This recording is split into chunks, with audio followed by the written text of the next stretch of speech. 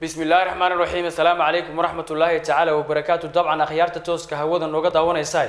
meel kasta iyo goob kasta ku sugantihiin wacan oo wanaagsan. Kuna soo dhawaada war wixii dalka gudihiisa mandaqada geeska afrika iyo guud ahaanba caalamkooda laga soo gaadhay. Warku waxau idinka imanaya xarunta dhexe uu telefishinka istaar ku leeyahay gudaha magaalada hargeysa. Waxaana haddii rabiidmo oo idiin warrami doono anigoo cabdisamed cali axmed. Qodobada daawadayaal xilligan wararkayga ku doorka roonna waxaa ka mid a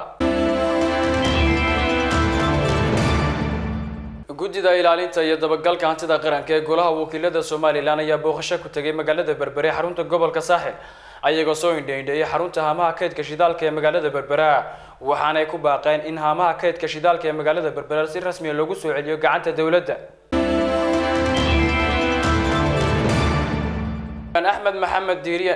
xildhibaan axmed maxamed diiriye nacnac oo ka mid a mudanayaasha aqalka golaha wakiilada somalilan ayaa xukuumadda somalilan waxa ugu baaqay in tallaabo deg dega laga qaado boqor cismaan buurmadow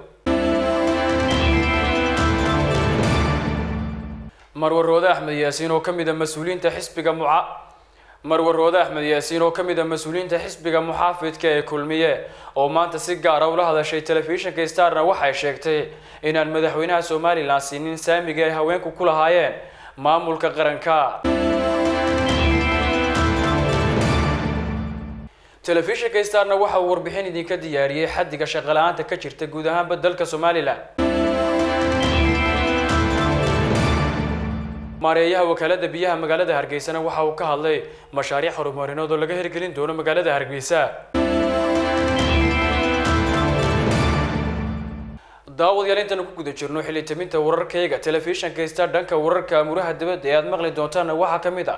dhaqaalaha dalka shiinaha ayaa marba mar ka dambeysa sii kordhaya marka loo eego sanadihii hore.